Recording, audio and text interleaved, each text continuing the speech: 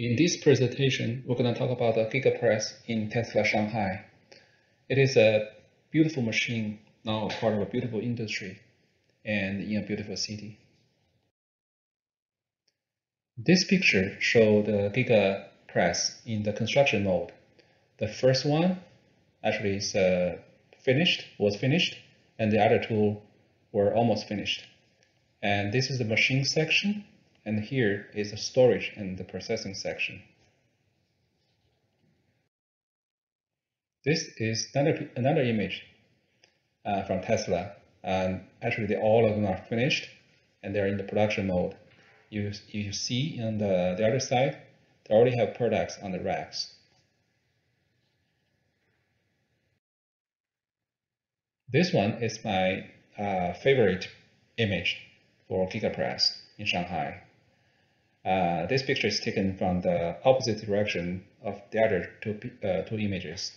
So the storage and the processing section is on this side, on the right side. And you see the roof, they have a natural light. And Tesla is uh, very uh, environmental friendly. Whenever possible, they're going to use uh, natural light to reduce the carbon footprint. This is the interior view of the three gigapresses. And this image is from recent UWA's video. And that's the exterior view of the building. This white rectangular is where the machines are. See the bars here? That's the window, the lights here.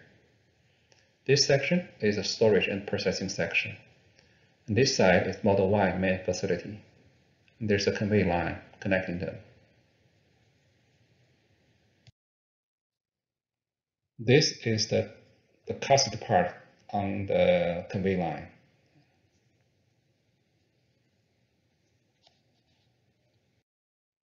The casting work probably does not have a 100% yield rate. This is another picture from UWA's recent video. Uh, this is a different angle of the building. So this is a Model Y casting shop, and this is the Model Y main facility. You zoom in here, you see some parts outside. Most likely they are defected, uh, defected parts. They will be 100% recycled for the metal. We want to estimate the capacity of 3 gigapress machines. There is a video on YouTube. It's about the Tesla Fremont uh, gigapress flyover in January. According to this footage, the gigapress can generate uh, 100, uh, one unit in 190 seconds. So that is about 455 units, one machine, one day. We assume 20% uh, machine downtime and 90% product yield rate. So that is about 330 unit, one machine, one day. So with three machines, we can get to 990 units per day. One year, uh, assume 360 days, take out a few holidays or plant shutdown. That is about uh, 356,000 units per year.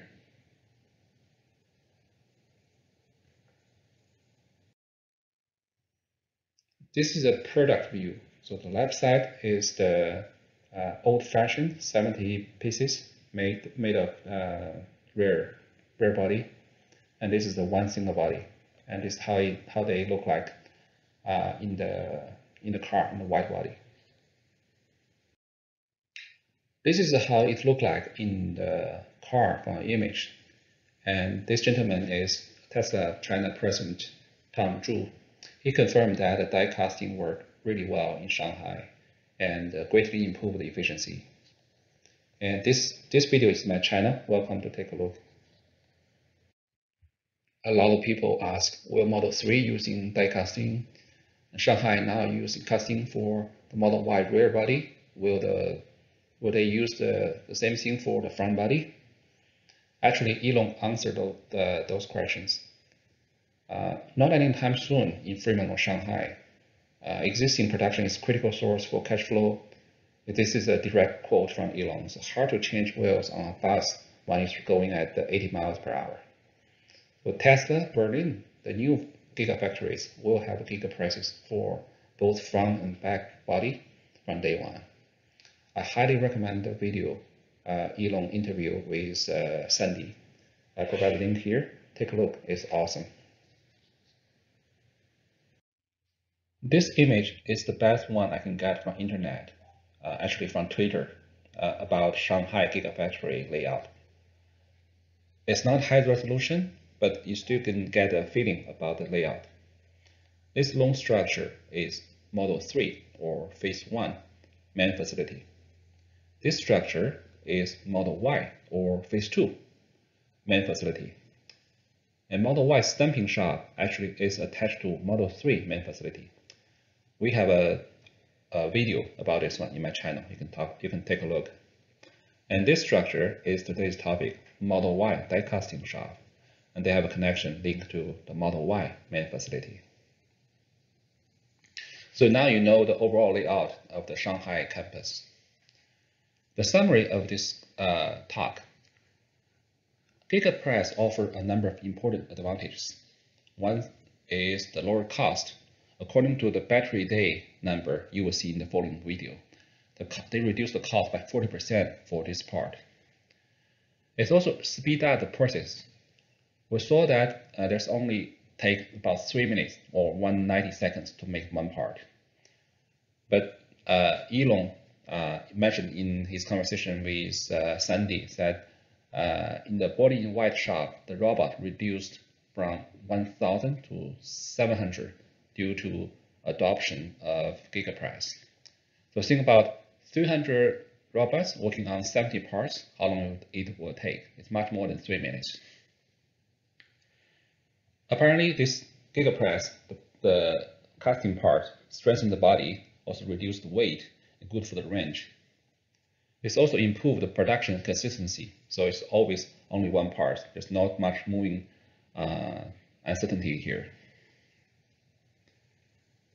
So we also know that integrated uh, is fully integrated in Shanghai Gigafactory Phase 2 and also working very well according to the uh, Tesla China president. The 3 gigapress machines annual capacity we estimate at about 356,000 units. So this is uh, much beyond the Tesla declared more, uh, made in China Model Y capacity. That number was 200,000 uh, according to the 4Q release. So we see the difference in the number, so possible future made in China.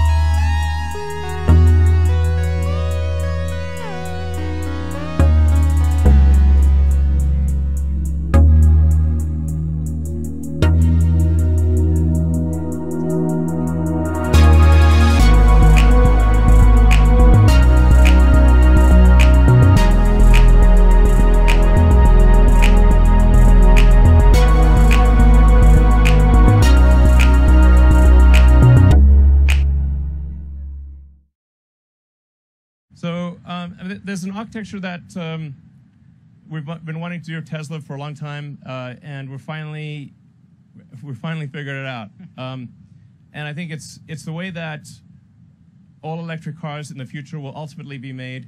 Uh, it's the right way to, right way to do things. Um, so it starts with uh, having a single piece casting, or a single piece casting for the front body and the rear body. Um, and uh, in order to do this, we uh, commissioned the, the largest casting machine that has ever been made, and it's currently working just uh, over the road at our uh, Fremont plant. Uh, we have the, the, the, it's pretty sweet. Um, ma making the uh, entire, currently making the entire rear section of the car in a, as a single piece high pressure die cast aluminum. Um, and in order to do this, we actually had to develop our own alloy uh, because we wanted a high strength casting alloy that not, did not require coatings or heat treatment. Uh, this is a big deal for, for castings, especially with a, la- a large casting. If you heat treat it afterwards, it, it tends to deform. It kind of like does this like potato chip thing. So it's very hard to keep a large casting uh, to have its shape. Um, so in order to achieve this, there was no alloy that existed that could do this. So we developed our own alloy, a special alloy of aluminum that has high strength without heat treat and, and is very castable. Uh, so that's a you know a, great achievement of our materials team. Um, in fact, in general, we've got a lot of advanced materials coming for, for Tesla that new alloys and, and materials that have never existed before. So, uh, so you're basically making this, the, the, the front and rear of the car as a single piece, um, and then that that, that then inter interfaces to uh, what we call it the structural battery, where the battery for the first time will have dual use. The battery will both have the use as an energy device and as structure.